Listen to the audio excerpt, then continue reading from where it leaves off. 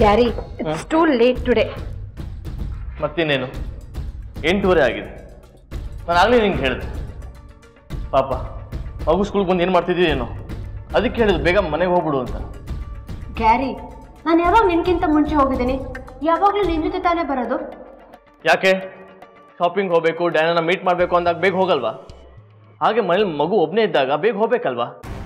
ನೋಡಿ ಗ್ಯಾರಿ ಬರ್ತಾ ಬರ್ತಾ ನೀನು ನನ್ನ ಮೇಲೆ ತುಂಬ ರೇಗ್ತಾ ಇದ್ಯಾ? This is not fair Shanaya ನಾನು ಹೇಳೋದನ್ನ ಸ್ವಲ್ಪ ಅರ್ಥ ಮಾಡ್ಕೊ. ಇವತ್ತು ಆಫೀಸಲ್ಲಿ ಎಷ್ಟು ಕೆಲಸ ಆಯ್ತು ಅಂತ ನಿಮಗೆ ಗೊತ್ತಲ್ವಾ? ನನಗೊಂದು ತಲೆ ಕೆಟ್ಟು ಹೋಗಿದೆ.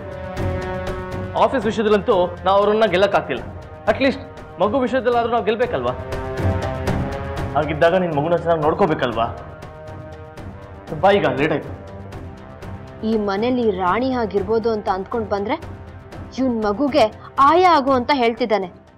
ಶನಾಯ ಇದೆಲ್ಲ ಬೇಕಿತ್ತಾ ನಿನ್ಗೆ? ಇರ್ಲಿ ಹ್ಯಾಂಡಲ್ ಮಾಡೋಣ. ಶನಾಯ ಅಲ್ಲೇನು ಮಾಡ್ತಿದ್ಯಾ? ಬಾ. Yeah coming.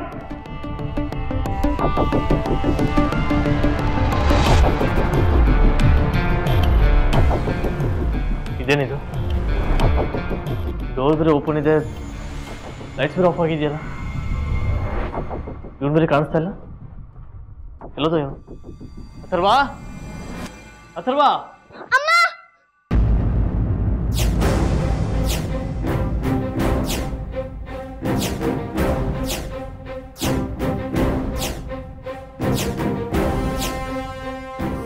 ಹೆದ್ರುಕೊಂಡ್ಬಿಟ್ಟೆ ಅನ್ಕೊಂಡ್ರಾ ಹ್ಮ್ ಹೆದ್ರಿಸಿದ್ದು